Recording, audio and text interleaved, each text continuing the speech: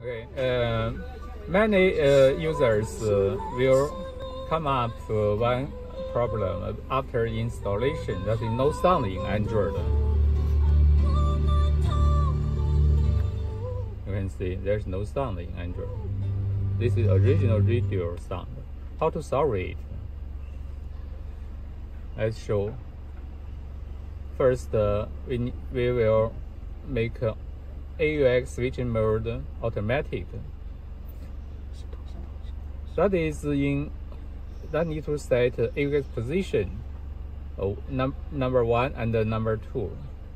This uh, this uh, position is according to original radio AUX position. You can see this is uh, this is number one, number two. Sorry, go back to original Uh, Android. This is number one, number two. This is the AUX position. Number one is two. No, no.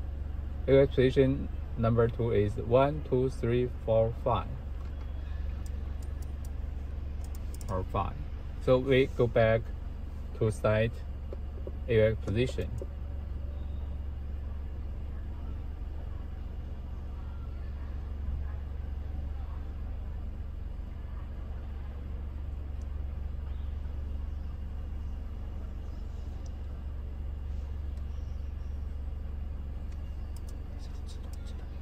Oh, uh, in in settings, uh, factory input code and choose automatic. Let's see if there is sound come out.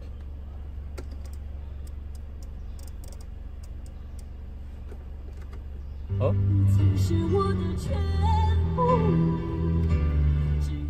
It's still NTG machine sound, not Android sound. Okay. In such case, we just uh, need to adjust the AUX position by adding one on it. Three, two becomes three, five becomes six. Okay. Then you check sound again. Hmm? Let's go back to original radio.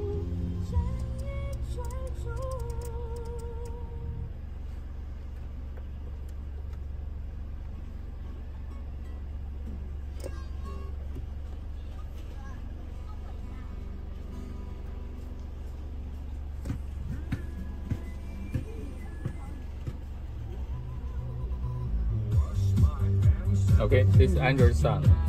Android Sun come out.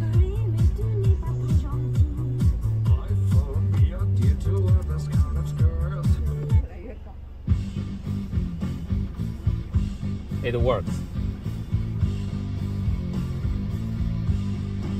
Okay, next step, let me show how to set AUX switching mode or manually. It's still come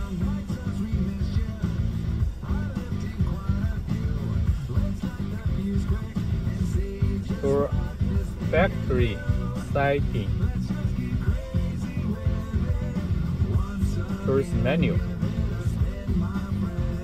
Then go back to NTG mode. Choose AUX and go back to Android.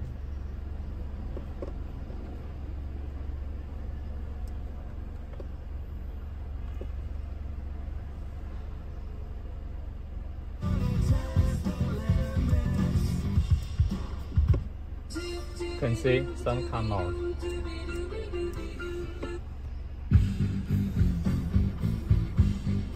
It's very easy.